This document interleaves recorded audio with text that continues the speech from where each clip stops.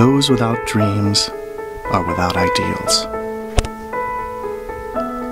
Those without ideals are without beliefs. Those without beliefs are without plans.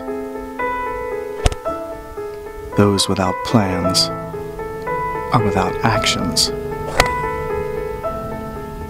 Those without actions are without results. And those without results are without happiness.